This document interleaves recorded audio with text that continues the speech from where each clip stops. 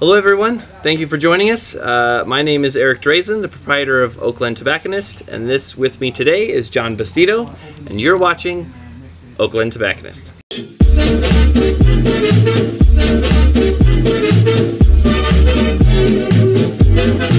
Oh, excellent. Thank you, sir. So, Jon, have you actually tried this particular cigar? I have not tried this one. Okay, so today we are uh, reviewing the Oliva Serie V in Double Robusto. It is a uh, 5 by 54 stick. Um, uses Ligero sun-grown tobacco, so it is extremely strong and rich tobacco. It's an old favorite. The, the first time I actually ever tried this cigar was uh, in this size, and uh, I've since then tried the 6x60, the Churchill, the Torpedo. I'd say this size and the Torpedo, I think, are personal favorites of mine out of them. So hopefully we can catch a good amount of this uh, of this footage before we lose, lose too much of the sun. Fall hours are happening and that's changing. As the seasons change. That's good. so right off the bat, Oh, it's like a, for me, like a blast of flavor. Like, instantly. yeah, you work up at the neighboring farm, Los Rios Rancho.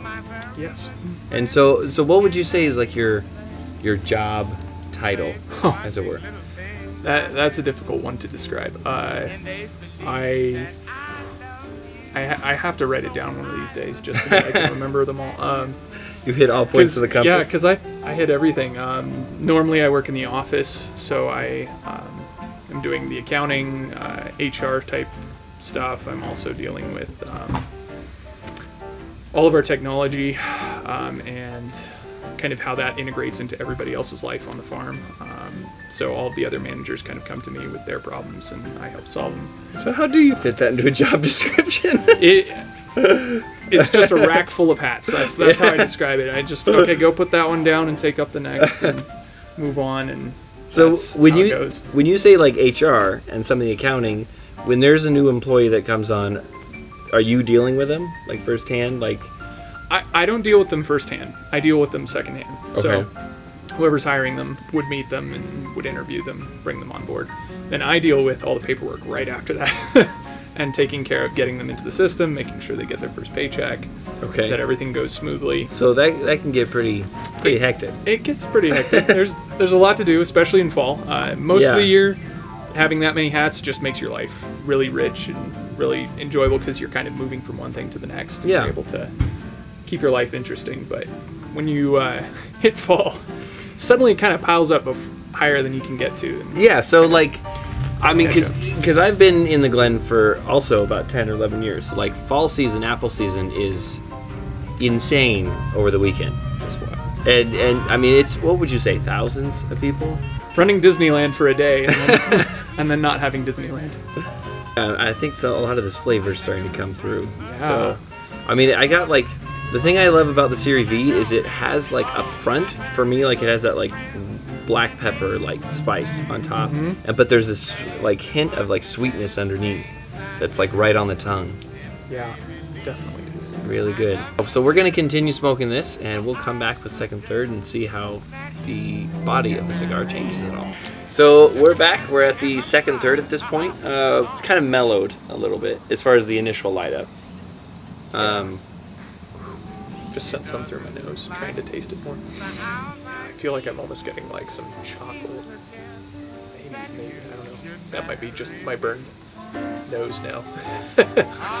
no, I can see like chocolate, like, uh, almost like a caramelized chocolate. yeah, yeah, it's really like kind of sweet and rich. Yeah. So as far as as far as apple season is going for this year, um, how would you say the apple crop has been? So this year, what we what we like to say uh, when it's not at peak performance is it's a moderate crop. So Okay. it's basically uh, it's when you have some varieties that are up, but then other varieties have kind of waned a little bit. Um, a big part of that is uh, biannualism. Uh, big word there. Uh, basically, when apple trees, if they're not managed properly, um, they'll get into this cycle of producing really heavy crop one year. Next year, you get virtually nothing, and then a big crop the next year, virtually nothing, and the trees Okay. kind of go through this. And so if you're if you're getting into a good cycle of thinning your fruit, as long as you don't have any crazy freak storms that destroy the apple crop, that can kind of just come out of nowhere and take stuff out. But as far as the farmer's concerned, uh, it's that actual process of managing the trees. If you don't fully manage the trees, then they will just kind of go into the cycle of produ- production and then no production, production, no production. Uh, a big part of it is thinning early enough because you actually, you you in a sense have to trick the tree into thinking that the Like shocking it. well, you're, you're kind of tricking it early because you're trying to pick the fruit off right after it's set, and you're tricking it into thinking that it didn't actually produce that heavy that year. Oh, It's almost what you're you're tricking it into, and then it puts a lot more of its energy into the apples that you did leave behind. So you get big fruit. A lot of years with that biennialism, if you're not thinning well enough, you get really small apples, lots of them, but really small. Um, a lot of times you actually have to do chemical thinning, so you use uh, certain chemical products that'll actually, in a sense, burn the tree a little bit, just enough. And there's a lot of organic compounds that you can use for that, um, where it's still organic, but you're burning the fruit when it's that small, and it actually takes out a percentage of your crop on purpose. Oh wow. So, and that's the best way to do it because that's that's how they do it up in Washington and stuff. Um, what would you say is out of all the varieties? Because I know you guys have tons of varieties. What would you say is probably your favorite?